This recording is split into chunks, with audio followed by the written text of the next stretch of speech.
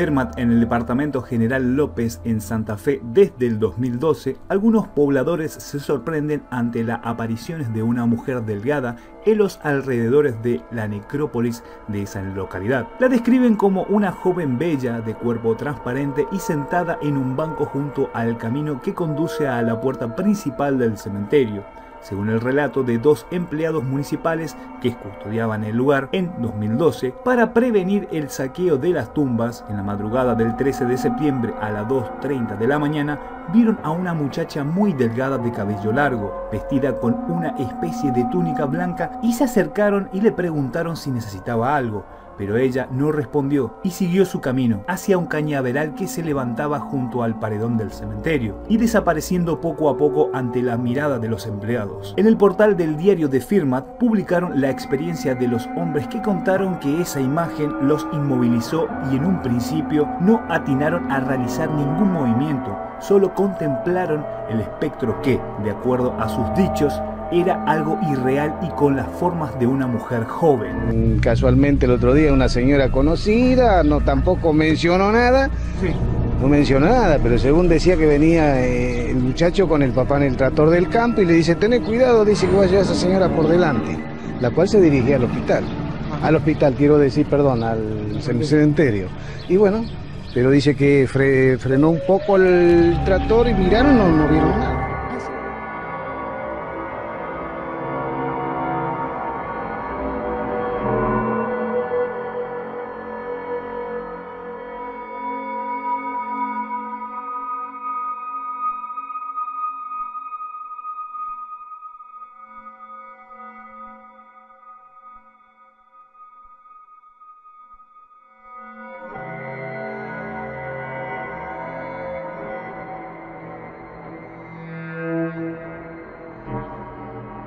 El lugar por sus paisajes es un paraíso natural y en un momento fue un boom turístico, pero la crisis en Argentina llevaron a este pueblo al abandono. Próspera cuando se extraía hierro de la mina y formaba parte de los altos hornos de Zapla, la realidad que hoy presenta la mina 9 de octubre o más conocida como Serranías de Zapla en nada se parece a aquella bella época que hoy con nostalgia recuerdan las familias que vivían en el lugar. En su auge turístico, este lugar tenía cine, escuela y una hermosa pileta que acompañaban a las pintorescas casas de la zona. Hoy parece un pueblo de terror, está hecha pedazos y la intendencia de Zapla no le importa. El monte fue comiendo el camino y sin un buen vehículo es imposible entrar. Todo se cae a pedazos, lo que en un tiempo fue próspero y después un lugar turístico que hoy está en pleno abandono, aseguran los ex mineros de la zona. Las Serranías de Zapla es una localidad argentina actualmente deshabitada ubicada en el departamento Zapala de la provincia de Jujuy se encuentra en una zona serrana a 10 kilómetros de la ruta provincial número 56 y a 20 kilómetros de Zapala, la cual depende administrativamente de la intendencia de la zona. Caminos en mal estado y atracciones rotas que hoy en día son una trampa mortal más que un entretenimiento. Lugareños aseguran que se han visto cosas raras en los lugares, ya sea fantasmas, ruidos, silbidos, y cosas que se mueven solas. Actualmente la gestión de este lugar solo le importa cuando hay eventos cercanos o para sacarse fotos. Después no está en las intenciones de la Intendencia hacer algo por el lugar, pero mientras tanto seguirá siendo un lugar de terror.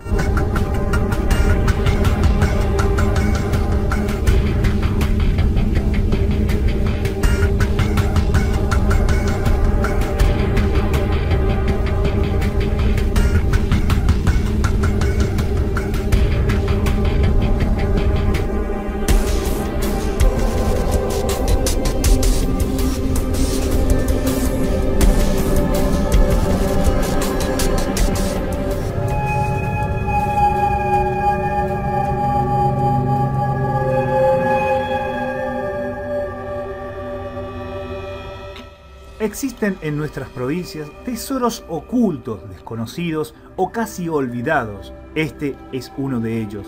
Rodeado de una historia atrapante, digna de ser difundida, el 31 de marzo de 1899, Lorenzo Tomasella, el puerto de Génova para hacerse la América, entre comillas, este italiano instaló un paraje muy cercano a Goya, que con el tiempo se llamaría Colonia Carolina originalmente. Durante su travesía transatlántica, la nave que lo trasladaba sufrió varias tempestades. Tomasela devoto, creyente, se encomendó a Nuestra Señora del Buen Consejo, a quien le prometió alzar una capilla en agradecimiento a su mando. Al llegar a la provincia y afincarse, fue reconocido por su laboriosidad e inteligencia. Incansable lector, no dejó escapar la obra del Dante, quien seguramente influyó su posterior obra arquitectónica. En el campo de su propiedad comenzó a levantar aquella capilla en honor a la Virgen del Buen Consejo. Lo hizo con humildad, sencillez, poniendo todo de sí y con lo mejor que tenía al alcance, adornos, altares, vidrios, muebles, piso, entre otras cosas. Al ver los lugareños la ornamentación del lugar, no tardaron en bautizarlo con el nombre Capilla del Diablo. Hoy, a pesar de los saqueos que ha sufrido este lugar, se puede apreciar varias figuras en las paredes, a la cristia que ha sido comparadas con las imágenes de Salamandra. Las campanas de la iglesia fueron traídas desde Italia. La Capilla del Diablo es símbolo de fe que animó a nuestros antepasados que no vacilaron en realizar innumerables sacrificios desde su partida de suelo natal, pero cuando las condiciones mejoraban no dejaba de agradecer cada uno a su manera sus buenas aventuras. Por disposición de los familiares en la actualidad está cerrada para recorrer, pasando a revestir en carácter de tesoro oculto Marisa y Sergio Sebastián Gómez, propietarios actuales.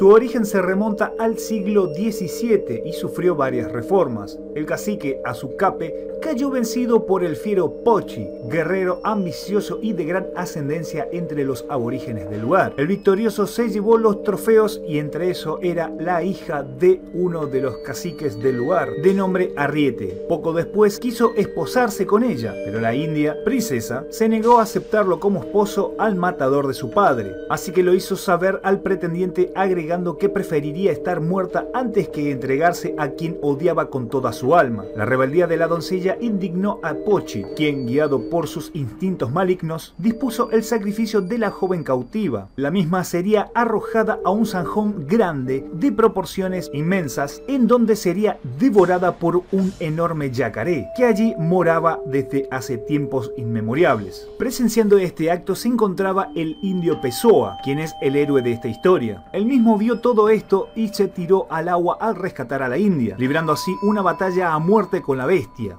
esto pudo rescatar a la India, dándole libertad, pero aún faltaba su vida. Pero lamentablemente no pudo sobrevivir a aquella bestia. Y el dios guaraní, Tupá, quien observaba la escena desde el infinito cielo, tocado en sus sentimientos de piedad, decidió premiar la acción del indio y lo transformó en un puente, el puente Pessoa, y para que no estuviera solo, convirtió a la hermosa Ariete en la corriente de agua limpia y cristalina que pasa por debajo de sus maderas y sus plantas como amorosa satisfacción de gratitud hacia el heroico indio Pessoa.